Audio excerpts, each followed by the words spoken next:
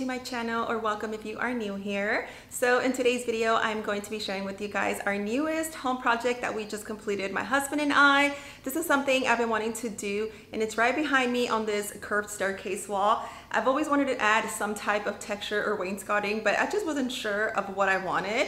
We did do some wainscoting over on this side of the wall, but I wanted something different for this lower section here. And so after going through tons of like Pinterest pictures and videos on Instagram and YouTube, I finally found the one and it's perfect. I am in love with it and I love the way it turned out. I actually didn't even expect it to turn out this good. Now, at first it was a little challenging just kind of trying to figure out the dimensions and all like all the measurings. But once you jump into the project and actually start getting your hands down and dirty, you are going to complete this in three easy steps. All you need to do is trim, meaning it's all gonna be 45 degree angles. So you're gonna need a handsaw or an electric saw.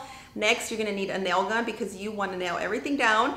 And third and last, it's going to be a prime and paint and that is it. So I decided to paint mine the color of our curtain borders and it turned out lovely. I had originally seen a video and tons of posts on this influencer on Instagram and she actually has it on her uh, curved staircase wall. So I already had an idea of what it will look like in my home. I just had to imagine it and kind of like, you know, picture it. So um, I, that kind of really did help a lot. So now that we completed it and now that we've done it, I just wanted to share with you guys of how we got it done. And I promise it's super, super easy. So I'll bring you guys up in a closer look in just a little bit. But first, I'm just gonna go ahead and explain of what we used. And this is the piece of material that we used. We purchased this from our local Home Depot and this is all we needed. And so um, Home Depot sells these in like super, super long pieces. I think they're like 16 uh, you know, foot long, but we went ahead and measured our wall and then we had to do all 45 degree angles at the top and then just a flat cut at the bottom. So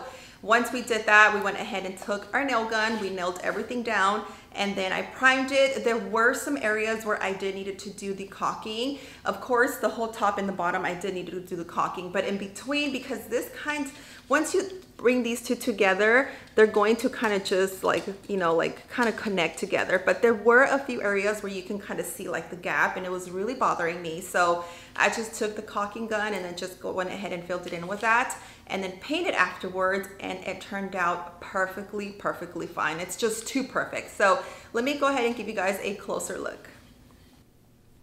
Okay, as you can see here, um, this is what we did and we went all the way from the very, very bottom to the very, very end of where the um, curve ends. So we wanted to do this. This is just a type of style that I wanted. And you guys, I am in love with it so, so much. I think we did such a really, really good job.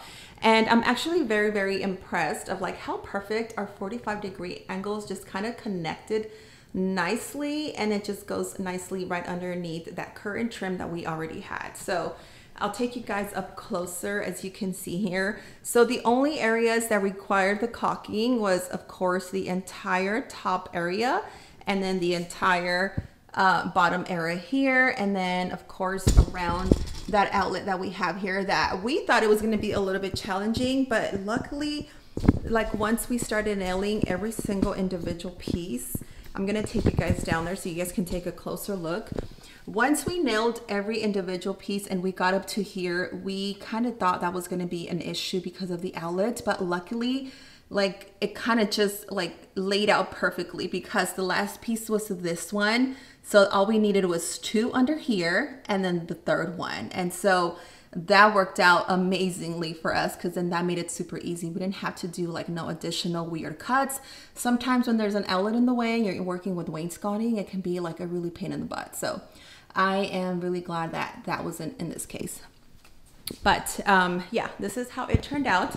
And I'll show you guys right over here. I did have some hard time removing some of the tape. So you can still kind of see the tape is like stuck there. But uh, this wall here is just a flat wall. Let me kind of move back here.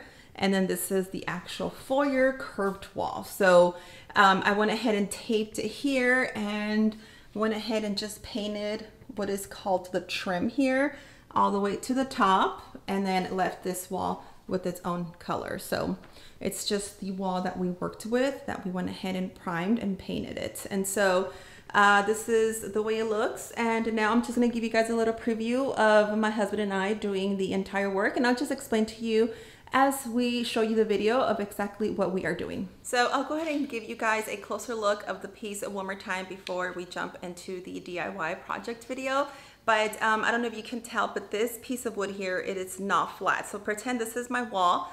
This is not flat. It does have a curve to it, as you can see there. But this part right here is what goes onto your wall. And then you're gonna nail it right on the center. Um, that way you get the entire flat area, you know, kind of like connected to your wall. So then these little uh, wings here are sticking out and that is what makes the actual line texture. When they connect with each other they're all going to connect nicely if you do cut them to the perfect size. So if you have all of them connected nicely it's going to give this nice little wave texture onto your wall. So I really love the way it turned out let me know what you guys think but I'm going to go ahead and do a little time lapse of my husband and I working on this project and I'll explain to you as the video goes what exactly we are doing and I promise this is something you guys can knock out yourselves. It's really easy to do and you'll love the results. Okay, so here we are heading out to our local Home Depot and this is the actual product that we purchased. And so we got the quantity that we needed. They are super long, so we did do some additional cuts at the Home Depot but we brought them home that same day and we started cutting the 45 degree angles and we weren't actually supposed to start on this day. This day was just supposed to be the day that we purchased the product but we were kind of excited to get started. We started off with one and then another one and then the third one. And next thing you know, we got this far. So we needed to stop because I needed to serve a dinner. And so we just went ahead and did quite a few here on the side and then we left the rest for the following morning. So um, we went to bed that day super excited and happy because we did quite a few strips and it was looking really, really good. So the following day, here we are, and we said this was going to be the day that we would complete the rest of the wall. So as my husband was working with the table saw outside, uh, he was bringing them inside, handing them to me, and here I'm just putting them together and then I'm just nailing them down with my nail gun.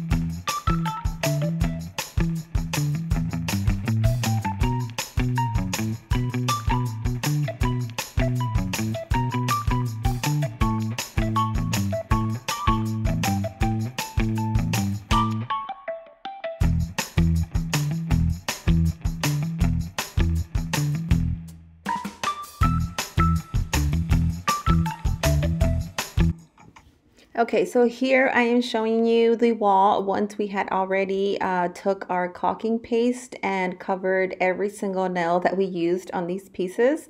So now it's ready for me to prime it. So right before I go into my color paint, I'm gonna go ahead and prime it. So I took my primer and I kind of just started at the top and worked my way down. Um, I just thought that was like the simplest and easiest um, way to do it. And so as I was priming, I did notice a little bit of gaps right in between the boards. So once this dries completely, I'm going to go back in with my caulking gun and then just kind of caulk the little areas that need a little bit of more filling.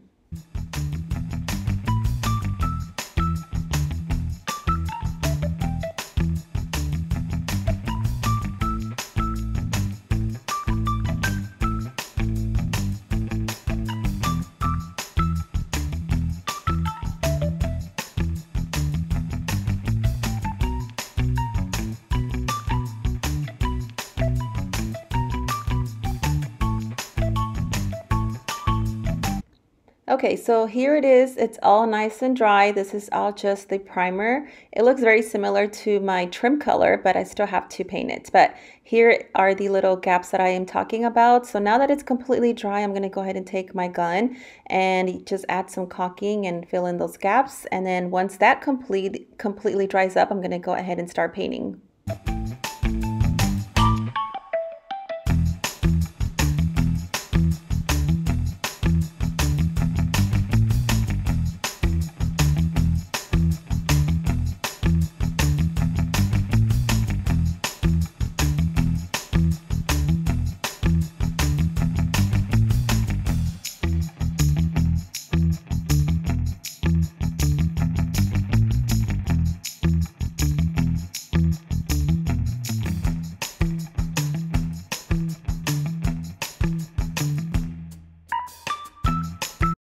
All right, so I finished painting and now I'm just gonna go ahead and let that dry a little bit. And here I'm just gonna go ahead and start cleaning the area because it does get a little messy.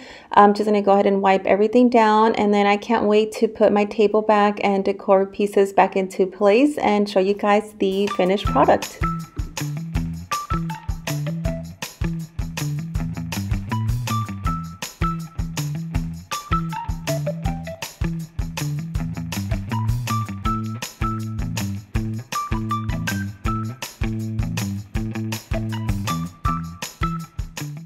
Guys. Well that is it. I really hope you guys enjoyed this video. If you guys have any questions let me know in the comments below. Also don't forget to give this video a like if you enjoyed watching and if, if it was and if it was helpful in any way. So i hope you guys enjoyed and i'll see you guys on the next one